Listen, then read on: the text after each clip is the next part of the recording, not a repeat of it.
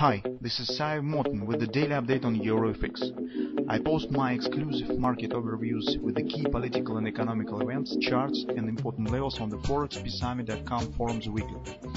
This short video is a response to rapidly changing situation on the currency markets and should help you to stay on top of the game and be profitable. I suggest you to visit forexpeacearmy.com forum and read my analysis for the week before watching this daily video. As usual, guys, let's take a look at the gold market. Uh, so a consider reaction that we have discussed in our weekly research stands underway.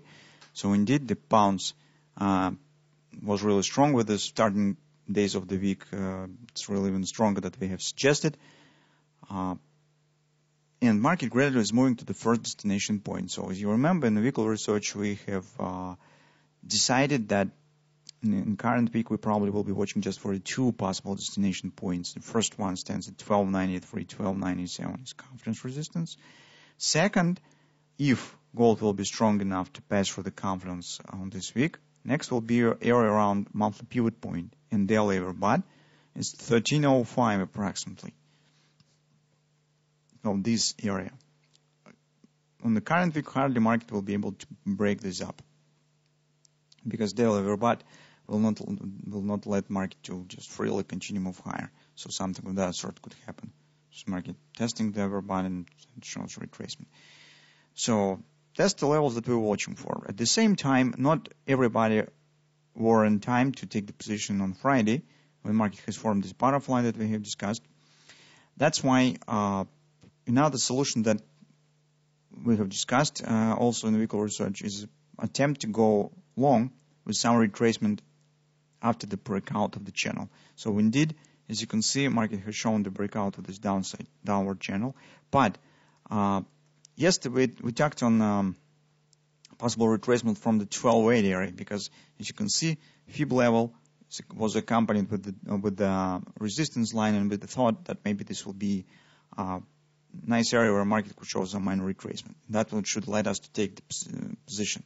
But this hasn't happened actually. So you can see market break this area it without, without any respect, so as it no exist, from just moving above it.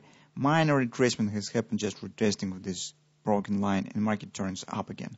So uh, that, of course, was not sufficient to take any position because it was not even the three-eight support of this most recent thrust. Still, here market has formed bullish reversal swing, guys, and it means that meaningful retracement should happen, and probably it could start even today.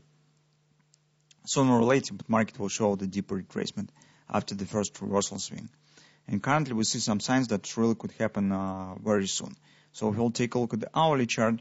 On the hourly chart, market has completed some kind of the butterfly has formed above this area. Uh, it's right now calling around the monthly weekly period resistance one. The fact that market has passed through it just tells that probably it's not just the retracement and market indeed could continue move higher. Uh, but the first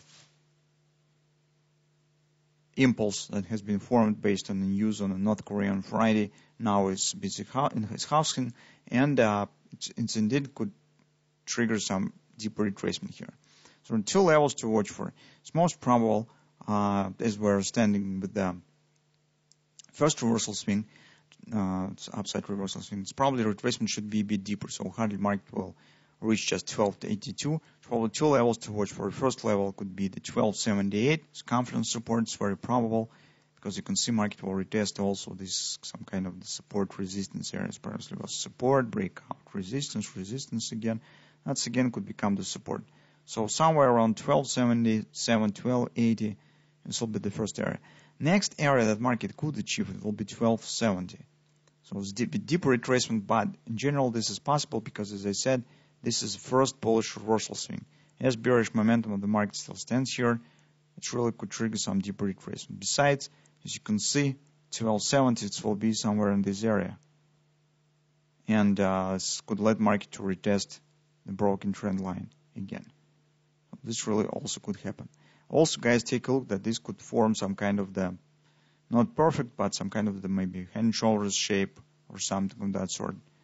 Um, it's really, we can't call it as the pure head and shoulders because it's a very small shoulder here, it stands It's untypical relation to the head, but the, the shape itself could be something of that sort, and market indeed could retest at 1270 as well.